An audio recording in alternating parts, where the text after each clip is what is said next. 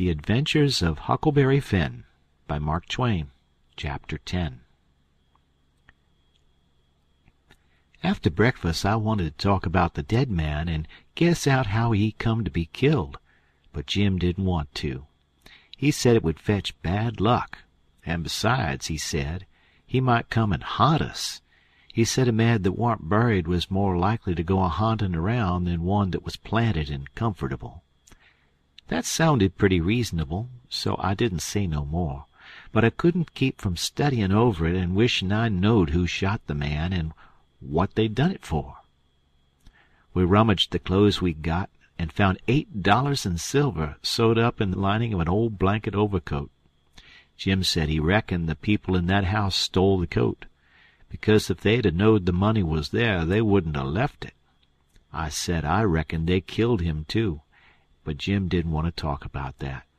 I says: "Now you think it's bad luck, but what did you say when I fetched in the snake skin that I found on the top of the ridge day before yesterday? You said it was the worst bad luck in the world to touch a snake skin with my hands. Well, here's your bad luck. We've raked in all this truck and eight dollars besides. I wish we could have some bad luck like this every day, Jim." "Never you mind, honey, never you mind. Don't you git too peart. It's a comin'. Mind, I tell you, it's a comin'." It did come, too. It was a Tuesday that we had that talk. Well, after dinner Friday we was layin' around in the grass at the upper end of the ridge, and got out a tobacco. I went to the cavern to get some, and found a rattlesnake in there. I killed him, and curled him up on the foot of Jim's blanket ever so natural, thinking there'd be some fun when Jim found him there. Well, by night I forgot all about the snake and when Jim flung himself down on the blanket while I struck a light, the snake's mate was there and bit him. He jumped up yellin', and the first thing the light showed was the varmint curled up and ready for another spring. I laid him out in a second with a stick, and Jim grabbed Pap's whiskey jug and began to pour it down. He was barefooted, and the snake bit him right on the heel. That all comes of my bein' such a fool as to not remember that wherever you leave a dead snake its mate always comes there and curls around it. Jim told me to chop off the snake's head and throw it away, and then skin the body and roast a piece of it. I done it, and he eat it, and said it would help cure him. He made me take off the rattles and tie them around his wrist, too. He said that would help. Then I slid out quiet and throwed the snakes clear away amongst the bushes, for I warn't goin' to let Jim find out it was all my fault, not if I could help it. Jim sucked and sucked at the jug, and now and then he got out of his head and pitched around and yelled, but every time he come to himself he went to suckin' at the jug again. His foot swelled up pretty big, and so did his leg, but by and by the drunk begun to come, and so I judged he was all right, but I'd druther been bit with a snake than Pap's whiskey. Jim was laid up for four days and nights. Then the swellin' was all gone and he was around again. I made up my mind I wouldn't ever take a hold of a snakeskin again with my hands, now that I seen what had come of it. Jim said he reckoned I would believe him next time and he said that handlin' the snakeskin was such awful bad luck that maybe we hadn't got to the end of it yet. He said he'd druther see the new moon over his left shoulder as much as a thousand times than take up a snakeskin in his hand. Well, I was gettin' to feel that way myself, though I's always reckoned that lookin' at the new moon over your left shoulder is one of the carelessest and foolishest things a body can do.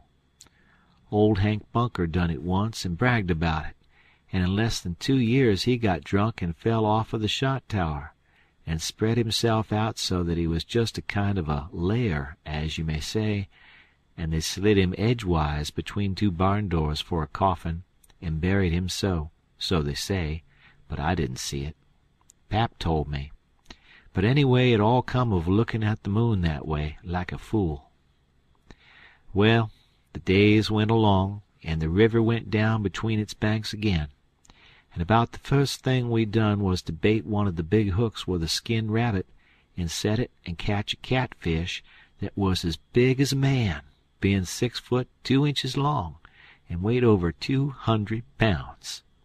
We couldn't handle him, of course. He would have flung us into Illinois. We just set there and watched him rip and tear around till he drownded. We found a brass button in his stomach and a round ball and lots of rubbage. We split the ball open with a hatchet, and there was a spoon in it. Jim said he'd had it there a long time, to coat it over so and make a ball of it. It was as big a fish as ever was catched in the Mississippi, I reckon. Jim said he hadn't ever seen a bigger one. He would have been worth a good deal over at the village. They peddle out such a fish as that by the pound in the market house there, and everybody buys some of him. His meat's as white as snow and makes a good fry. Next morning I said it was getting slow and dull, and I wanted to get a stirrin' up some way. I said I reckoned I would slip over the river and find out what was goin' on. Jim liked that notion, but he said I must go in the dark and look sharp. Then he studied it over and said, couldn't I put on some of those old things and dress up like a girl? That was a good notion, too. So we shortened up one of the calico gowns, and I turned up my trouser legs to my knees and got into it. Jim hitched it behind with the hooks, and it was a fair fit. I put on the sunbonnet and tied it under my chin, and then for a body to look in and see my face was like looking down a joint of stovepipe. Jim said nobody would know me, even in the daytime hardly. I practiced around all day to get the hang of the things, and by and by I could do pretty well in 'em. Only Jim said I didn't walk like a girl, and he said I must quit pullin' up my gown to get at my breeches pocket. I took notice, and done better. I started up the Illinois shore in the canoe just after dark. I started across to the town from a little below the ferry landing, and the drift of the current fetched me in at the bottom of the town. I tied up and started along the bank. There was a light burnin' in a little shanty that hadn't been lived in for a long time, and I wondered who had took up quarters there. I slipped up and peeped in at the window. There was a woman about forty year old in there knittin' by a candle that was on a pine table. I didn't know her face. She was a stranger, for you couldn't start a face in that town that I didn't know. Now this was lucky, because I was weakenin'. I was gettin' afraid I had come. People might know my voice and find me out. But if this woman had been in such a little town two days she could tell me all I wanted to know. So I knocked at the door and made up my mind I wouldn't forget I was a girl. End of chapter.